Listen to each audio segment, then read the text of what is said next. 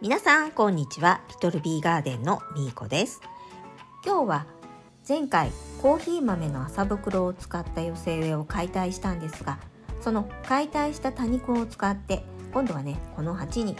解体した多肉たちを植え替えていこうと思います。このセダムたちもすっかりしわしわになってしまったのでね早くね植え付けてあげたいと思います。ちなみに今回は3分の1水持ちのいい土を入れています。まずはこのレーマニーを水持ちのいい土の方に植えていこうと思います。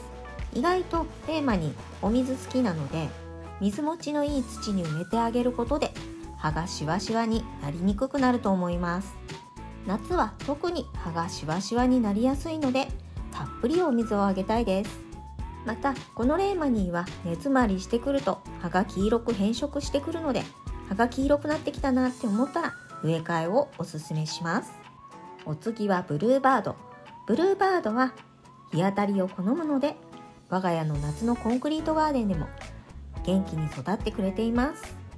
長い茎はそのままにして根っこだけ少しカットしました。そしてこの黄緑色の多肉ちゃん。春萌えかな？一瞬ピーチプリデかなと思ったんですがこの葉の形はピーチさんじゃなくて春萌えさんでしたね。春萌えも茎が長いのでこのまま茎の長さを利用してしっかり奥まで差し込んでおきます。そしてお次はピーチさん。ここでブルーバードがちょっとね邪魔だったのでもう一回植え直しです。まあ、寄せ植えはこんな風にね好きなところに植えていくっていうのが基本です。はいお次はこの多肉ちゃん。ちょっとねもう名前が分かりません。最初に麻袋の寄せ植えをした時の動画を見ればねもしかしたらわかるかもしれないんですけどまあとりあえず寄せ植えなので名前はなくても可愛ければ OK はいお次の多肉ちゃんも葉がしわしわすぎて品種がちょっとね不明ですね。なんかピーチプリデにも見えなくもないしなんだろうって感じですかね。また多肉が水を吸ってロゼットが開いたら誰だかわかるかもしれません。下がねポロポロ落ちてしまったのは乙女心さん。なんとかね先っぽの葉っぱだけ残ってくれています。そして隣にはこのムチムチの桃美人さんを植えました。そしてお次の多肉ちゃんもちょっと名前がねわかんなかったです。この子はカメレオン。カメレオンも茎が長いまま根っこがたくさん出ているのでちょっと斜めに刺しておきます。もうどの子もね本当に茎が伸び伸びになっていますね。はい。これはね胴切りしたデザートローズですね。もう完全に葉っぱが1万円もない茎からまた出てきてくれていました。そして不入りの葉が可愛い。雅楽の舞。紅葉すると葉がピンク色に色づいてとっても可愛いんですよね。そして今植えているのが100均で購入したリプサリス。この子は葉が上に伸びていくタイプ。親株もだいぶ大きくなりました。古い茎は木質化して肥料を入れてから一気に大きくなったんですがその分枝先がね細く貧相にね成長してしまいました。ちなみにこの寄せ植えには水持ちのいい土に使っている培養土だけに肥料が入っています。残りの3分の2の土には肥料も入れてないので様子を見ながら液肥をね少し足してみようかなって思っているところです。そうそう最初に言うのを忘れていましたが寄せ植えをする時は背の高い多肉ちゃんは後ろの方に寄せて手前を低い多肉ちゃんで寄せていくと後々ね仕上がりが綺麗になります。それにしてもどの多肉ちゃんもみんな外葉がねカリカリに枯れていたり葉がしなしなになっていたりかなり弱っている多肉ちゃんが多いんですよね。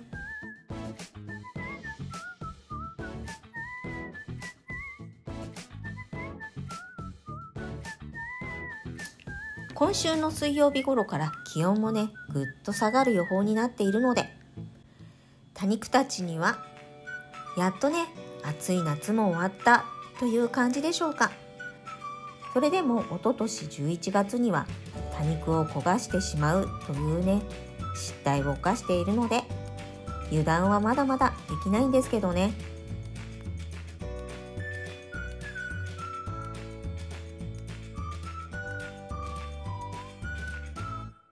そして朝晩だいぶ涼しくなってきたおかげで少しずつですが多肉の成長スイッチも入って新芽が出ていたり脇芽が出ていたりしている多肉もいたりして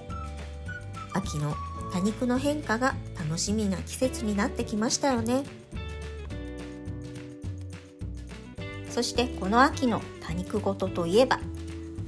こんな風に寄せ植えの仕立て直しをしたりセダムの仕立て直しなどそれに葉ざしの鉢上げや葉ざしっこ茶をもいだりもしたいんですよね。やることはまだまだたくさんあるんです。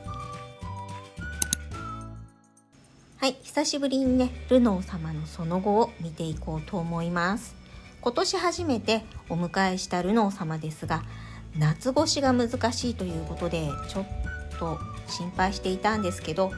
結局今残っているのは7個。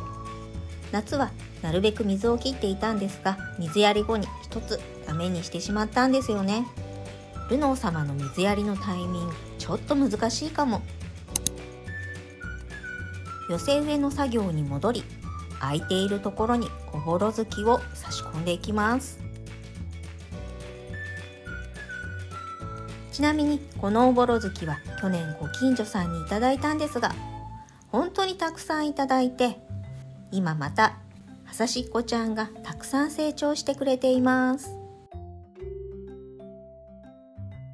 そしてこのおぼろ月は夏でも比較的元気でいてくれるので寄せ植えに入れるとロゼットも大きくてとっても豪華な寄せ植えに見えるんですよね。秋にはピンク色に紅葉してとっても可愛くなるしこのおぼろ月は葉ざし率もとってもいいので多肉ちゃんをたくさん増やしたい方にはおすすめのおぼろ月なんです。そうそう大事なことをもう一つ。こんな風に茎だけになってしまったおぼろ月。実はこの茎を使って水耕栽培もできるんです。適当な瓶に水を張り刺しておくだけ。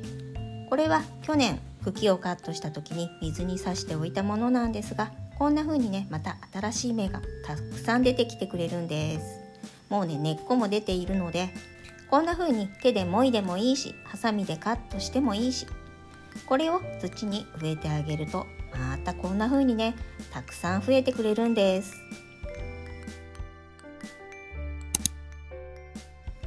寄せ植えも最後の仕上げ。セダムを使って空いているところを埋めていきます。特に土が見えている場所にはちょっと多めにセダムを植えてあげると仕上がりがとっても綺麗です。セダムの寄せ植えを解体してから少し日数が経ってしまっているのでセダムがちょっと元気ないんですけどまたお水を吸うと元気になってくれるのでセダムがしわしわでもしっかりね奥まで植え込んであげると根っこもすぐに伸びてくれるのであっという間にまたねセダムがもりもりに成長してくれるんです。解体した多肉たちだけを使っているので見た目はまだまだ青い多肉ちゃんたちばかりですがこれから少しずつ寒くなるにつれて多肉もまた赤く紅葉してくれるので紅葉を楽しみにしているところです。それまでにちょっと寂しいので寄せ植えに少し入れるだけで見た目がパッと明るくなってとっても可愛くなる細葉黄金万年草を少し足していきます。